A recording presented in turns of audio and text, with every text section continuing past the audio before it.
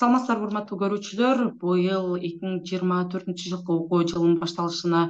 бир канча гана күндөр калды. Негизи бул жыл окуучуларга кандай жаңылыктарды алып келет? Мектептеги э, окуу кандай өзгөрөт? Ата энелерге кандай жаңылыктар бар? Бүгүн ушул жөнүндө сөз кылмакчыбыз. Бул үчүн бизде конокто кыргыз республикасынын билим берүү жана илим министринин орун басары муратбек касымалиев. Муратбек мырза саламатсызбы? Саламатчылык алгач эле негизинен жалпылап айтканда бул жыл кайсы кандай жаңылыктар менен башталат окуу жылы мурдакы жылдардан эмнеси менен айырмаланышы айырмаланат саламатсыздарбы урматтуу көрүүчүлөр урматтуу ата энелер быйылкы окуу жылында жыйырма төртүнчү жыйырма бешинчи жылы окуу жылында биз жаңы билим берүү системасына он эки жылдык билим берүү системасына өтөбүз деп айтып атабыз. Бирок даярдоо жол картасы түзүлгөн. Өлкө башчыбыз эки жыл убактынын ичинде биз ошол мазмунду даярдашыбыз керек. Азыр стем предметтери боюнча маршал кавендиш сингапурдагы ошол басмаканасы менен келишим түзүлдү. Мында стем багытындагы предметтер боюнча азыр которуу иштери жүргүзүлүп атат англис тилине кыргыз тилине кээ бир системасы бүткүл боюнча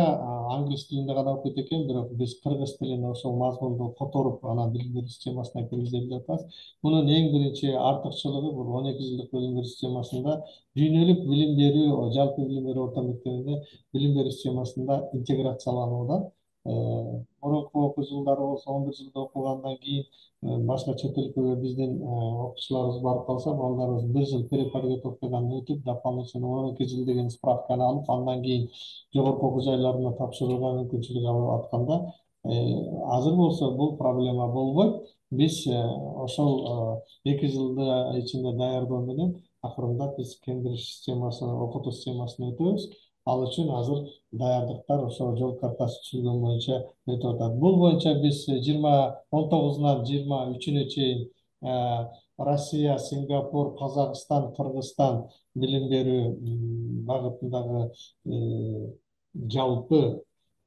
ярмаркасын өткөрдүк ошондо ар бир өлкө өзүндөгү ошол акыркы кездеги санаа ириктештирүү багытында эмне жаңылыктар болуп атса ошонун баарын көрсөтүп беришти. Көпчүлүк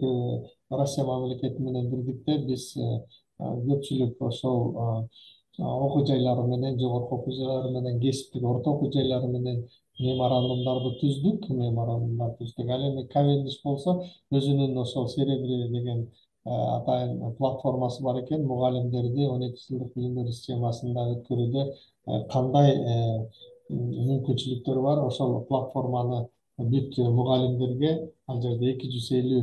мугалим барды эки жүз элүү жалпы республика ар бир облустан биз ошондой жаңылык менен азыр ар бир облустта август август кеңешмеси ар бир жер жерлеринде ысык көлдөн кийин ар бир жерлерде график менен өтүп атат мына ушундай жаңылыктар болуп атат жаңылык эми эки жылдын ичинде биз мазмунду даярдашыбыз керек ошол мазмунду кантип окутуш үчүн мугалимдерди методикалык жадан жактан даярдашыбыз керек анан эки жылдын ичинде материалдык техникалык база дагы жогорку деңгээлге көтөрүлүп калат үчүнчү жылы анан биз ушул он эки жылдык билим берүү системасына өтүүгө карамдарды таштайбыз анан э, ошол он эки жылдык окуу э, окуу программасы жөнүндө сөз болуп калды. Мисалы биз э, жанагы ар кандай изилдөөлөрдүн жыйынтыгында кыргызстанда мектептердин жетишсиздиги жөнүндө да айтылып келет да бул ошол инфраструктуранын канча жетишсиздиги жөнүндө дагы ар кандай маалымат бар. Негизи эгер биз ансыз деле окууга мектептер жетишпей жатса башка инфраструктура жетишпей жатса бул он эки жылдык окуу кайрадан ошол нерсени маселени кайрадан курчутпайбы жок андай маселе жок мен башында айтып кеттим элестетип көргүлө отуз жылдын ичинде арага он жети мектеп курулса былтыркы окуу жылында биз жүз кырк жети мектеп курулуп ишке берилди быйыл жүз сексен мектеп ремонттон анан жаңы окуу эмесине өтүп атат капиталдык ремонттон өтүп атат жүз сексен мектеп азыр күзүндө биз мына сентябрдын башында он үч он үч бала бакчаны жыйырма жети мектепти ачабыз дагы эми бул жаңы мектеп ачылат десе эле кээ бир мындай суроолорду берет экен жаңы мектеп ачылса ошол жаңы мектепке мугалимдер керек деп жок регион биз эски мектептерди жанына жаңы мектеп заманбап мектептерди куруп атабыз эски мектепте иштеген мугалимдер жаңы мектепте иштеп атышат албетте кээ бир жалпы республика боюнча мугалимдердин жетишсиздиги ош шаары менен бишкек шаарында ош шаарында төрт жүз токсон эки мугалим жетишсиз бишкек шаарында тескерисинче бишкек шаарында төрт жүз токсон эки мугалим жетишсиз көпчүлүгү багыты орус тилдүү мектептерде мугалимдердин ооруп же болбосо улгайып пенсияга чыкканына байланыштуу орус тилдүү мугалимдер азайып баратат ошондуктан биз россия билим берүү системасынан өткөндөн ярмаркада келишимдерди түздүк бизге ошол уфадан эки жүзгө чукул волонтерлор келет ошолорду биз орус тилдүү мектептерге жайгаштырабыз анан дагы былтырдан бери ушундай практикаланып атат акыркы педагогикалык университеттердин орус тилинде окуткан мугалимдерди даярдоо бөлүмдөрүндө төртүнчү курста педагогикалык практикага чыгарып ошону мугалим катары кабыл алып биз ошол жаш мугалимдерди даярдап мектеп практикасынан өткөрүү менен мугалим кылып иштетип атабыз анан дагы бир суроо жакында эле жаңылык чыкты. Бул жылы жанагы окуу китептеринин ижара акысын көтөрүү боюнчачы негизи бул мындай көп көңүл бурулбаганы менен мындай элдердин арасында көп талкуу жаратып атыптыр да. Болбосо бир жыйырма беш сомдон отуз сомгобу кымбаттаптыр ушул нерсе боюнча бул негизи мектептерде ижара акысы бир убактарда жанагы жок болуп кетип атты э. Мындай бекер берилип атты. Андан кийин кайра киргизилди бул негизи эле эмне үчүн керек эмне үчүн кымбаттады мүмкүн мындай бекер эле кылып койсо болбойбу ансыз деле китептер жетишсиз экен да? Бул маселени да мындай маселе бар проблема бар. Өкмөттөн атайын токтоо менен чечим чыгарылган ошол ижара акысын киргизүү жаңы түзүлгөн мектеп китептер үчүн азыр жыйырма төртүнчү жылга чейин чыгарылган китептердин ижара акысы мисалы үчүн биринчи төртүнчү класс бешинчи тогузунчу класс он биринчи класстарда бир он төрт предмет бар да он төрт предмет ошол деңгээлдерде анан ошого чейинки жыйырма беш сомдон ижара жаңы китептерге акы салынат мындан кийинки эсептөөлөргө баягы каражаттар эме улам тенденция көтөрүү баа жогорулап атпайбы ошого жараша атайын ушу мамлекеттик финанс министрлиги тарабынан ошол атайын формула иштелип чыккан экен ошол отуз сомдон кем эмес жогору болушу мүмкүн отуз сомдон кем эмес ижара акысы быйыл төрт китеп кирип атат төрт китепке эле ижара акысы жогорулайт калган китептер мурункудай жыйырма беш сомдон эле алына берет бул болсо практикаланып келаткан нерсе дүйнөлүк практикада ушундай китептерди эгерде кагаз түрүндө болсо сөзсүз түрдө ижарага берип муну болсо ижарадан түшкөн каражатты ошол китептерди кайра тытылып калса же убактысына жетпей начарлап кетсе ошолорду кайра басып чыгаруу максатына ылайыкталган да ошон үчүн ата энелер баягы китепти азыр мындай деп атпайбызбы мен сизге информация катары айтып кетейин жалпы билим берүү орто мектептеринде жаңы китеп деген платформа киргизилген бул интернетте турган платформа. Ар бир мектеп ар бир мектепке бирден штрих кодду сканерлеген сканер берилген ар бир китеп штрих код коюлган ар бир китепке компьютер берилген мына ошолор ошол системада интернетке туташтырылган бүт республика боюнча ошол системадан алынган боюнча жетимиш проценттен ашыгыраак библиотечный фонддо китептер бар да. Ошо китепкананын фондунда ушунча китеп бар. Эми отуз проценти кайда? Ана жетпей кала турбайбы деген паника чыкпаш үчүн мен айтып атам. отуз проценти ата энелер мисалы үчүн бир жумадан бери китеп ярмаркаларын уюштуруп атат район облустарда. Алар кандайча уюштуруп атат. Ата энелердин колунда сатып алынган өзү жеке менчик китептер бар. Ошолорду алар алмаштырып атат айырбаштап бешинчи классты бүткөндөр алтынчы класстыкын алып алтынчы класстар жетинчи класстын баары чогулушат дагы китепти жетинчи класстыкын алып келет. Алтыдан жетиге көчкөн бала өзүнүкүн беш төрттөн бешке көчкөн балага берет. Ошентип айырбаштап алып арасында эгерде көбүрөөк кымбатыраак сатылып алынган болсо анча мынча акча беришип айырбаштап алышып ошентип ярмарка менен камсыз болуп атат. Бул сентябрдын биринчи алгачкы жумаларында дагы ярмаркалар өтөт. Алгачкы жумаларында ошо китеп алмашуу боюнча отуз проценти ошол тараптан камсыз болушат китеп жетпей калды деген маселе жок быйыл мектептерде эмне үчүн деген дагы бир нерсебиз бар. Бул багытта биз электрондук китептерди түзүү платформасын иштеп чыкканбыз. Буга чейин азыр улутсофт деген компания кыргызстандын компаниясы программисттердин компаниясы алар бизге электрондук мектеп платформасын түзүп атат электрондук журнал платформасын түзүп атат үчөө значит электрондук китеп түзүп платформа үч платформаны түзүп интеграциялап иштөөсүн ушул сентябрдан баштап киргизебиз. Анда мындан мурун башка системада түзүлгөн базистик окуу планы боюнча алтымыш эки китеп түзүлүп даярдалган электрондук китептер бул электрондук китеп pdf формат эмес ал жандуу электрондук китеп ал жерде виртуалдык лабораториялар бар ал жерде мазмун боюнча түзүлгөн презентациялар бар ал жерде видео аудио материалдар бар анан ошол мазмун боюнча түзүлгөн тесттик тапшырмалар бар компьютердик тесттик тапшырмалар онлайн режимде ошол ичинде балдар өз алдынча даярдана берет да мына ушуларды биз улутсофт түзгөн электрондук мектепке түшүрүп атабыз бүт базистик окуу планы боюнча алтымыш эки окуу китеби түзүлүп баардыгы жүз жыйырма тогуз окуу китеби бар базистик окуу планы боюнча алтымыш экисин биз эми баягы кол эмгек физкультура деген сабактардан башкасы кирди ошондуктан азыраак болуп атат ошолорду негизги предметтерден улуттук контенттеги тарых кыргыз тили география жанагы стем багытынан башка китептердин баарысын технология предмети боюнча диндердин өнүгүү тарыхы боюнча жана башка китептер боюнча биз электрондук мазмунун түзүп быйылкы окуу жылына сентябрдын башына электрондук мектеп деген платформаны ишке киргизебиз. Мында окуучуларга мугалимдерге ошол электрондук китептер электрондук мектеп платформасы менен атайын ошо иштей алышат доступный болот да баарысына мугалимдерге ата да караса болот окуучулар да караса болот атайын логин пароль берилет ошонун негизинде окуучулар регистрация болуп онлайн режимде баардык китептердин мазмунунан мазмунун көрө алып окуу процессинде колдоно алышат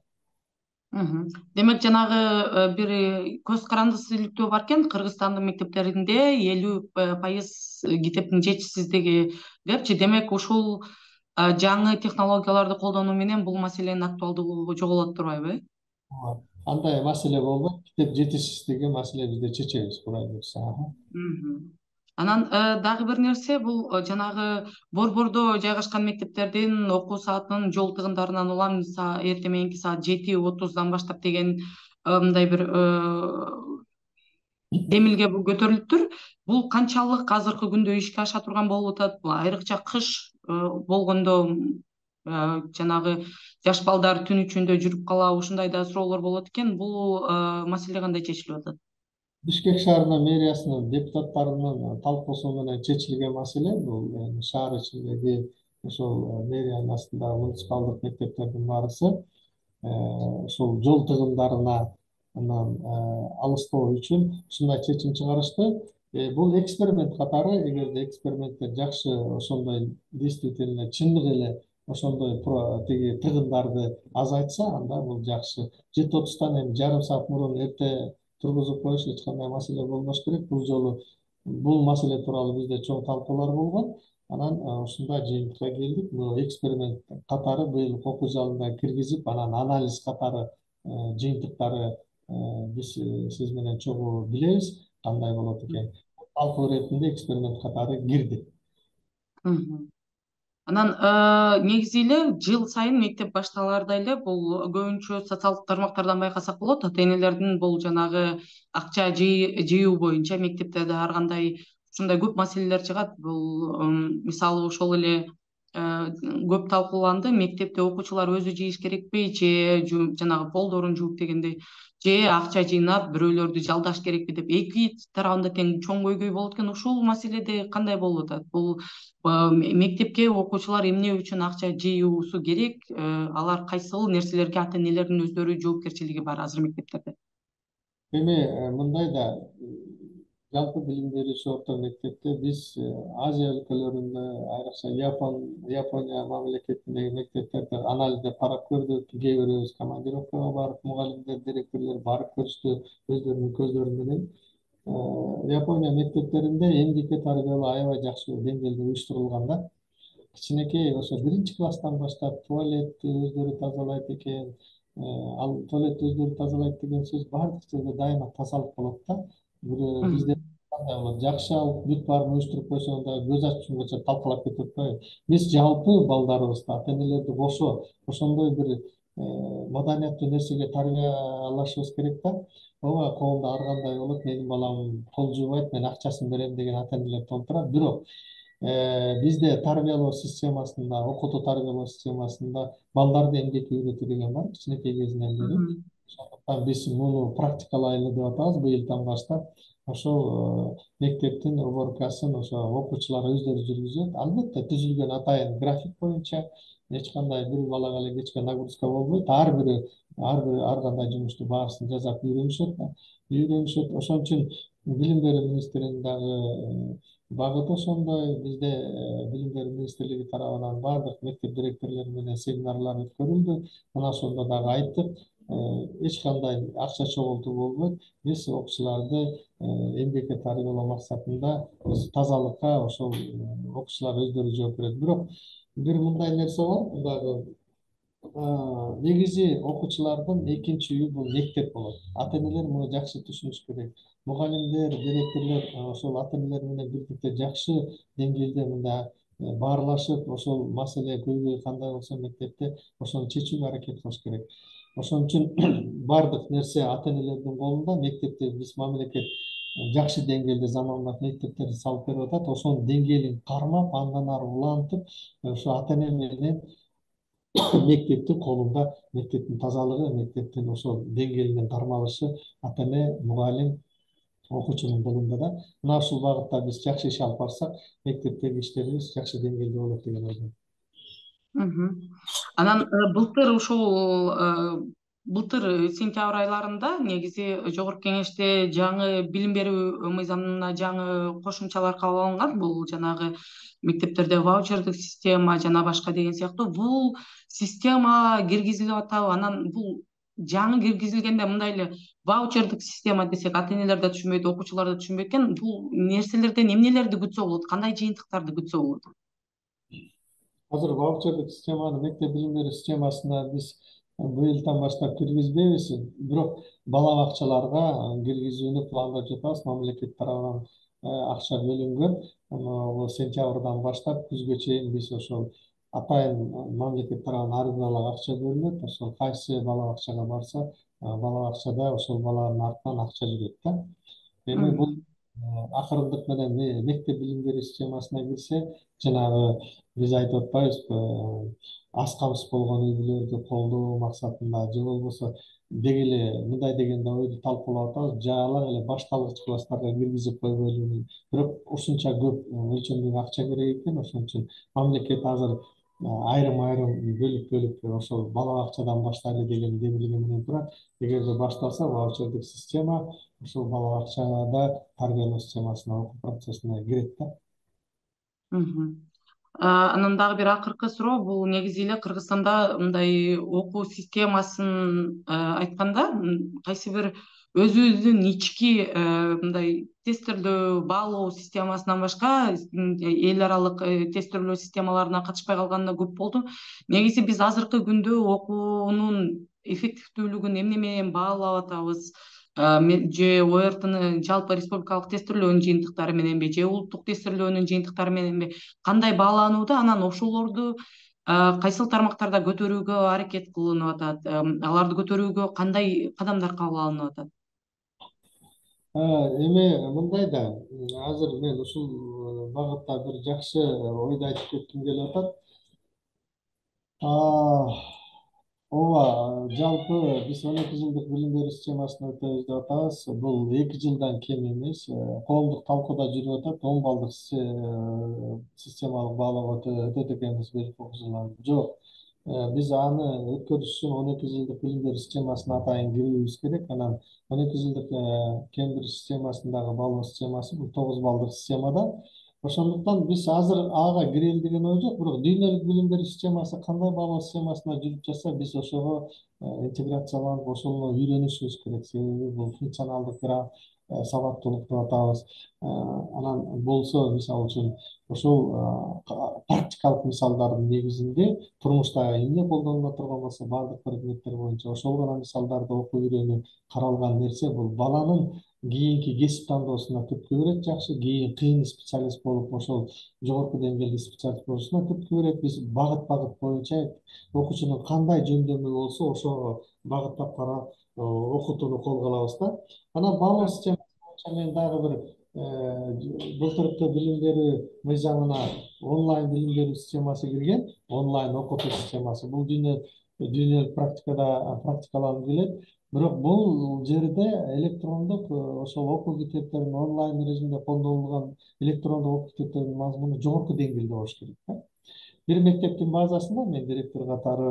айтайын улуттук инновациялык технологиялар мектеп лицейинин базасында базистик окуу планы токсон эки китепти түздүк төрт жыл апробациядан өткөздүк эки миң он жетинчи жылдан баштап эки миң он тогузунчу жылы биз ковид убагында Э, мектепте онлайнда электрондук китептерин окуп билим сапатын төмөндөткөн жокпуз э, бүт республикага биз электрондук китептерибизди бердик телекомдун серверине жайгаштырып мына ошондой бир пайдасы тийди мына азыр биз жаңы билим берүү мыйзамында онлайн билим берүү деп онлайн онлайн билим берүү мектеби деп ачылып атат мына ошого биз болгон ошол укуктук ченемдик актыларын дайындап атабыз бир мектептин базасында ошо өкмөттүн чечими менен онлайн мектеп ачылат мында электрондук окуу китептери түзүлөт электрондук окуу китептеринин мазмуну жогорку деңгээлде апробациядан ошол мен айткан мектептин базасында түзүлгөн азыр жаңы платформага электрондук мектеп платформасына салып атабыз күзүндө ошолор мен жогоруда айтып кеткендей баардык мугалимдерге ата энелерге окуучуларга доступный болот логин парольдорун беребиз анан бул жерде атаандаштык пайда болот мисалы үчүн сиз айткандай баало ошол олимпиадага даярдануу жалпы республикалык тестирлөөгө сертификат алтын сертификатка алтын тамга деген дагы даярдообуз бар бүт баары аттестаты беш болгон ошо алтын сертификатка төрт предмет боюнча даярдап атабыз анан республикалык олимпиадага анан дүйнөлүк олимпиадага даярдап атабыз эң кыйын мугалимдерге окуучулар ошондой деңгээлде өткөн мугалимдерге электрондук китептерге доступ беребиз электрондук китептер ушу төрт багытта электрондук китептердин мазмуну көтөрүлөт кошулат материалдар анан ар бир окуучу олимпиадага мен айткан жанагы деңгээлдер боюнча даярдана алат өз алдынча ошентип биз ушундай атаандашуунун негизинде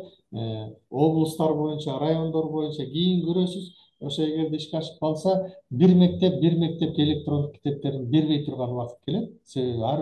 бир электрондук китептердин мазмуну жогорулаган анын негизинде окуучулары олимпиададан алтын тамгадан обртдан жакшы результатка жетишип атат биз ушундай атаандаштык менен китептердин мазмунун электрондук китептердин мазмунун жогорулатышыбыз керек. Бул онлайн традициялык окутуу формасы аралаш окутуу формасы менен окутула турса дүйнөлүк практика ошол эле батыш өлкөлөрүндө ошол эле американын өзүндө биздин кошуналарыбыз турцияда мына ушундай окуу процессинде аралаш окуу методдору колдонулат электрондук мектептер параллельно өзүңүз деле байкап угуп жүргөнсүз жүргөн чыгарсыз параллельно экиден вуздан онлайн режимде окуган студенттер бар. Ошондой шарттуу биз электрондук мектепти биз атайын түзүп атабыз онлайн мектеп деп мына ошондой шартты түзөбүз. Анан мисалы үчүн дагы бир нерсе пайда болот. Ата энелерде региондордо мисалы үчүн электрондук мектепте ошол мектепте химия мугалими жок болсо же начар болсо республика боюнча эң мыкты химия мугалимдерине жазылууга мүмкүнчүлүк болот. Мисалы үчүн баткенде көк сай айылындагы мектептеги химик мугалим жок болсо ата эне химия боюнча предмети боюнча бишкектеги бир жакшы мектепке жаздырып койду мугалимге. Анан ал болсо видео сабактардын негизинде чейректерге бөлүнгөн онлайн режимде окуп эле баалап баасы электрондук журналга коюлат ошол көк сай орто мектебиндеги мектептин электрондук журналы коюлат дагы онлайн режимде аралыктан химия предметин өздөштүрүп алат анан дагы бул жерден дагы бир нерсе бар белгилей кете турган нерсе кайсы мугалимдин электрондук окуу материалдары жогорку деңгээлде болуп ошол мугалимге окуучулар республика боюнча көп жазылса ошол мугалимге айлык ошончолук деңгээлде көп беш жүз миңге беш жүз миң сомго чейин эми ар бир балага мисалы үчүн миң сомдон десек эми канча бала жасалса ошончо миң сом алат деген сөз да эми бул приблизительно айтылган сөз албетте мына ошондой атаандаштыкты коелу деп атабыз кудай буюрса бул жакшы мугалимдерди республика боюнча тандап жазылуу мүмкүнчүлүгү ата энелерде пайда болот экинчи жанагыдай китептердин жетишсиздиги өзүнөн өзү жоюлат да. Мына ошондо эки маселе чоң маселени чечебиз онлайн мектепти киргизебиз онлайн электрондук мектепти бүт республика боюнча эки миң үч жүз жетимиш жети мектебибиз бар. Ошондо ар бирөөндө электрондук мектептин иштеши жүргүзүлөт анан азыркы санариптик министринин айтканы боюнча статистикасы боюнча бүт республика боюнча интернетке туташпаган мектеп калган жок. Баарысы туташтуу самое главное эң негизги башкы нерсеси бул он мегабиттен кем эмес интернеттин ылдамдыгын жогорулатып берүү. Азыр телекомдо ошол маселе каралып атат. Бул мен өткөн жумада ошол санариптик министрлигиндеги орун басарлары менен сүйлөштүм. Бүт регион боюнча биз ар бир мектепти подключение кылып бүттүк. Муну токсон алты процент эле азыр жүз процентке жетти. Мына биз электрондук мектепти ишке киргизсек бул баардык мектептер эки миң үч жүз жетимиш жети мектеп онлайн электрондук мектеп менен электрондук китептер менен камсыз болот деген сөз да. Чоң рахмат муратбек мырза урматтуу көрүүчүлөр биз бүгүн эки миң жыйырма төртүнчү жылкы башталып аткан окуу жылы кандай жаңылыктар менен коштолот? Окуучуларга кандай өзгөрүүлөр? Мектептин мектептеги окуу китептеринин жетишсиздиги алар ал маселе кандай чечилип атат? Ушул жөнүндө сөз кылдык. Бул үчүн бизде конокто кыргыз республикасынын билим берүү жана илим министринин орун басары муратбек касымалиев болду. Алып барган мен перизат сайпурхан. Кийинки берүүлөрдөн көрүшкөнчө сак саламатта болуңуздар